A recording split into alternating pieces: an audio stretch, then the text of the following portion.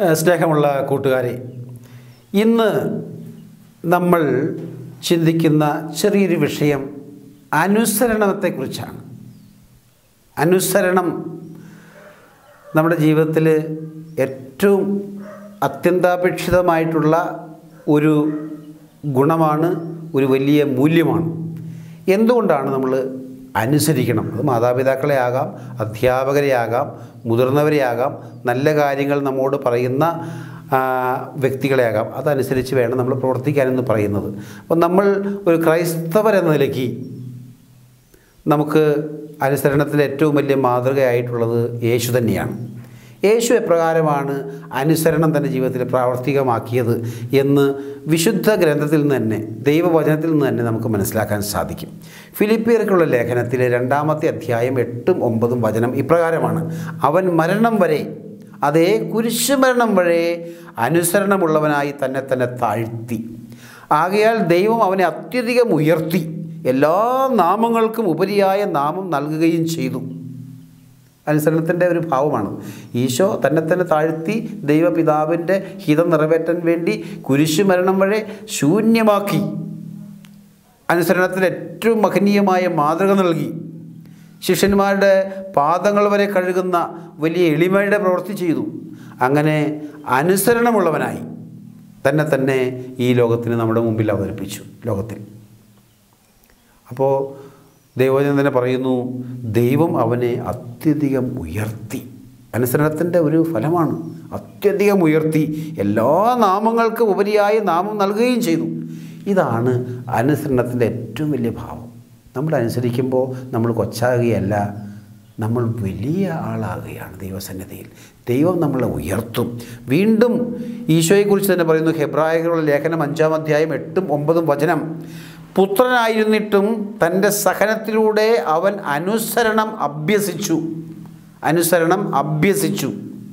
പരിപൂർണനാക്കപ്പെട്ടതുവഴി അവൻ തന്നെ അനുസരിക്കുന്നവർക്കെല്ലാം നിത്യരക്ഷയുടെ ഉറവിടമായി. അനുസരണത്തിൽ അവൻ പരിപൂർണനാക്കപ്പെട്ടു. അതിനപ്പുറത്തൊരു അനുസരണത്തിന്റെ മാതൃകയില്ല. അപ്പോഴോ അത് നമുക്ക് എല്ലാവർക്കും അനുസരിക്കുന്ന എല്ലാവർക്കും അനുസരണത്തിന്റെ പാത പിന്തുടരുന്ന എല്ലാവർക്കും നിത്യരക്ഷയുടെ ഉറവിടമായി യേശുവിന്റെ ഈ അനുസരണം. ഈ അനുസരണം വഴി യേശു എന്താ ചെയ്ത്? യേശു തന്നെ തന്നെ പരിപൂർണമായിട്ട് കുരിശിൽ സമർപ്പിച്ചു. ജീവൻ തന്നെ വെടിഞ്ഞു.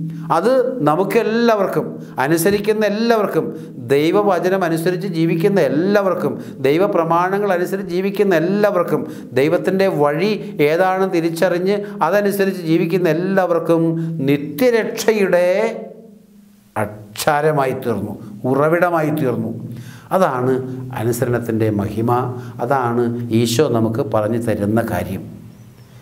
പിന്നെ അവൻ അവരോടൊപ്പം പുറപ്പെട്ട് നസ്രത്തിൽ വന്ന് അവർക്ക് വിധേയനായി ജീവിച്ചു എന്ന് ലൂക്കായുടെ സുവിശേഷം രണ്ടാം അധ്യായം അമ്പത്തി ഒന്നാമത്തെ വചനം പറയുന്നു. മറിയത്തിനും യൗസപ്പിനും വിധേയപ്പെട്ട അനുസരണത്തിൽ. അനുസരണമാണ് വിധേയത്വം എന്ന് പറഞ്ഞാൽ. അവർക്ക് വിധേയനായിട്ട് ജീവിച്ചു. ദൈവപുത്രനായിരുന്നിട്ടും. ഇതാ ഈശോ നമുക്ക് പറഞ്ഞു തരുന്ന അനുസരണത്തിന്റെ ഏറ്റവും മഹനീയമായ മാതൃക. നമ്മുടെ ജീവിതത്തിലും ഈ അനുസരണം വളരെ അത്യന്താപേക്ഷിതമാണ് നമ്മുടെ ജീവിതത്തിൽ വിജയിക്കാൻ വേണ്ടിയിട്ട്. കാരണം നമ്മൾ കുഞ്ഞുങ്ങളായിരിക്കുമ്പോഴും വലിയവരായാലും നമ്മളെക്കാൾ അറിവുള്ളവർ പറയുന്ന കാര്യങ്ങൾ അനുസരിക്കാൻ. നമ്മളെക്കാൾ മുതിർന്നവർ പറഞ്ഞ ജീവിത അനുഭവത്തിലൂടെ പറഞ്ഞു തരുന്ന കാര്യങ്ങൾ അനുസരിക്കാൻ നല്ല വഴിക്ക് നടക്കാൻ പറഞ്ഞു തരുന്ന കാര്യങ്ങൾ അതനുസരിച്ച് പ്രവർത്തിക്കാൻ ഒക്കെ നമ്മൾ തയ്യാറായാൽ മാത്രമേ നമ്മുടെ ജീവിതത്തിൽ വിജയം ഉണ്ടാവുകയുള്ളൂ. പരാജയപ്പെടാതെ മുന്നോട്ട് മുന്നോട്ട് പോകാൻ സാധിക്കുകയുള്ളൂ. അതുകൊണ്ടാണ് അനുസരിക്കണം എന്ന് പറയുന്നത്. എഫ് എ സുസക ലേഖനം ആറാം അധ്യായം ഒന്ന് മുതൽ മൂന്ന് വരെയുള്ള വചനം നമ്മൾ ഇപ്രകാരം വായിക്കുന്നു. കുട്ടികളെ ആത്മാ കർത്താവിൽ നിങ്ങൾ മാതാപിതാക്കളെ അനുസരിക്കുവിൻ. കുട്ടികളോട് പറയുകയാണ്. പൗലോസ്ലിഹ കുട്ടികളെ കർത്താവിൽ നിങ്ങൾ മാതാപിതാക്കളെ അനുസരിക്കുവിൻ. അത് ന്യായയുക്തമാണ്. അത് ന്യായവും യുക്തവുമാണ് നിങ്ങൾ അനുസരിക്കേണ്ടത് കാരണം നിങ്ങളുടെ മാതാപിതാക്കൾ നിങ്ങളുടെ നന്മയ്ക്ക് വേണ്ടിയുള്ള കാര്യങ്ങൾ മാത്രമേ പറയുകയുള്ളൂ. ഒന്നും നിങ്ങളുടെ നാശത്തിന് വേണ്ടി പറയുകയില്ല. നിങ്ങളുടെ ഇഷ്ടമില്ലാഞ്ഞിട്ടല്ല പറയുന്നത്. ചില കാര്യങ്ങൾ കർശനമായിട്ട് പറയും അനുസരിക്കാനായിട്ട് പറയുന്നത്. നിങ്ങളോട് സ്നേഹമില്ലാഞ്ഞിട്ടല്ല. നിങ്ങൾ സ്നേഹമുള്ളത് കൊണ്ടാണ് പുറത്തുള്ളവരങ്ങനെ പറയുകയില്ല. കാരണം എന്താ? അത്രയും സ്നേഹ ഉത്തരവാദിത്വവും അവർക്ക് നിങ്ങളുടെ മേലില്ല. നിങ്ങളുടെ മാതാപിതാക്കൾക്കാണ് നിങ്ങളുടെ മേൽ ഉത്തരവാദിത്വവും ഏറ്റവും കൂടുതൽ സ്നേഹമുള്ളത് അവരുടെ സ്നേഹത്തിന്റെ പ്രതിഫലനമായിട്ടാണ് നിങ്ങൾ തന്നെ ദൈവം സൃഷ്ടികർമ്മത്തിൽ പങ്കുചേർന്ന് നിങ്ങൾക്ക് ഈ ലോകത്തിൽ ജന്മം നൽകിയത്. അവർ ദൈവത്തിന്റെ സൃഷ്ടികർമ്മത്തിൽ പങ്കുചേർന്ന് ദൈവത്തോടൊത്ത് സഹകരിച്ച് ദൈവത്തോട് അനുസരണം ഉള്ളവരായിട്ട് പ്രവർത്തിച്ചതുകൊണ്ടാണ് നിങ്ങൾക്ക് അസ്തിത്വം തന്നെ ലഭിച്ചത്. അപ്പോൾ ആ മാതാപിതാക്കൾക്ക് നിങ്ങളുടെ മേൽ ഒരു വലിയ ഉത്തരവാദിത്വമുണ്ട് സ്നേഹമുണ്ട്. അതുകൊണ്ട് അത് ന്യായവും യുക്തവുമായിട്ടുള്ള കാര്യമാണ് നിങ്ങൾ അനുസരിക്കുക എന്ന് പറഞ്ഞാൽ. ഒരു പക്ഷേ നമ്മൾ മുതിർന്ന ക്ലാസ്സുകളിലേക്കൊക്കെ വരുമ്പോൾ എട്ട് ഒമ്പത് പത്ത് പതിനൊന്ന് പന്ത്രണ്ട് കോളേജ് പ്രായമൊക്കെ യുവത്വത്തിലേക്ക് കടന്നു വരുമ്പോൾ എന്തിനാണ് ഈ മാതാപിതാക്കൾ പറഞ്ഞത്? എല്ലാം അതുപോലെ അനുസരിക്കണത് എന്തിനാണെന്നൊക്കെ തോന്നുന്ന യുക്തിചിന്തയൊക്കെ നമ്മെ നമ്മിൽ രൂപപ്പെട്ടു വരാൻ ഇടയുണ്ട്. അത്തരമുള്ള കൂട്ടുകെട്ടുകൾ ചെന്നപ്പെട്ട് അവർ കൂട്ടുകാരൊക്കെ ചിലപ്പോൾ അങ്ങനെ പറയും. അല്ലെങ്കിൽ ചിലപ്പോൾ നമ്മൾ ചിന്തിക്കും മാതാപിതാക്കൾക്ക് എന്തറിയാം ലോകത്തെക്കുറിച്ച് ഞങ്ങൾ ജീവിക്കുന്ന സാഹചര്യത്തെക്കുറിച്ച്. അതുകൊണ്ട് അവരൊന്നും പറഞ്ഞ് അങ്ങനെ അങ്ങോട്ട് അക്ഷരം പിടി അനുസരിക്കേണ്ട കാര്യമൊന്നുമില്ല എന്ന് വിചാരിച്ച് അവരുടെ ഒളിഞ്ഞും തെളിഞ്ഞും അനുസരണക്കേട് കാണിച്ച് കുഴിയിൽ ചെന്ന് ചാടിയിട്ടുള്ള കുട്ടികളെയും യുവതികളെയും യുവാക്കളെയൊക്കെ എനിക്കറിയാം. അനുസരണക്കേടിന്റെ ഫലമായിട്ട് ജീവിതം തന്നെ തകർത്ത് കളഞ്ഞിട്ടുള്ള ആളുകൾ. അപ്പോൾ അതുകൊണ്ട് അങ്ങനെ ഉള്ള വഴികളിൽ പോയി നമ്മുടെ ജീവിതം നമ്മൾ തകർത്ത് കളയരുത്.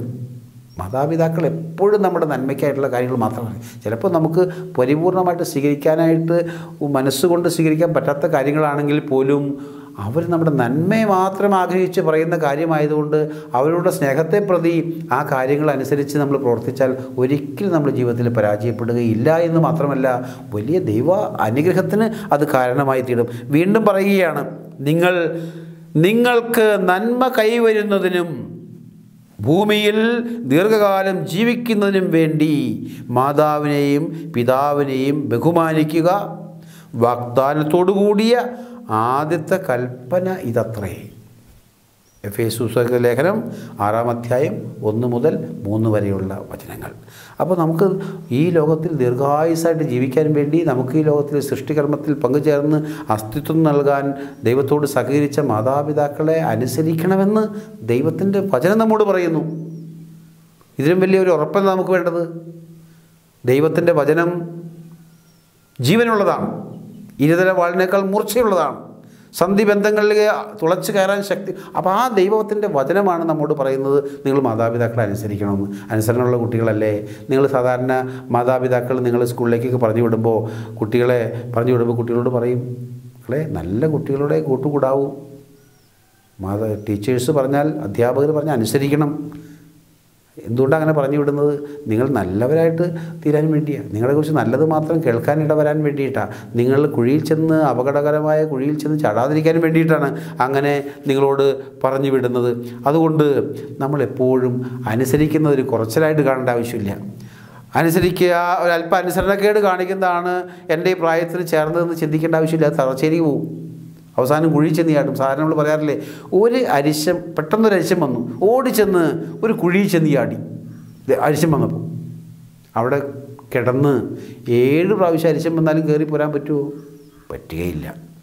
അപ്പോൾ അതുപോലെയുള്ള അവിവേകങ്ങൾ നമ്മുടെ ജീവിതത്തിൽ സംഭവിച്ചു പോരുത്. മാതാപിതാക്കൾ പറയുന്നത് ചിലപ്പോൾ നമുക്കല്പം ബുദ്ധിമുട്ടുള്ള കാര്യമായിരിക്കാം. എന്നാലും അവർ പറയുന്നതിന്റെ ഉദ്ദേശം എന്താണ്? നമ്മുടെ നന്മ മാത്രമാണ്. നമ്മൾ വഴിതെറ്റിപ്പോകാതിരിക്കാൻ വേണ്ടിയിട്ടാണ്. നമ്മൾ അപകടത്തിൽ ചെന്ന് ചാടാതിരിക്കാൻ വേണ്ടിയിട്ട് മാത്രമാണ് എന്നുള്ള ഒരു ഓർമ്മ നമുക്ക് വേണം.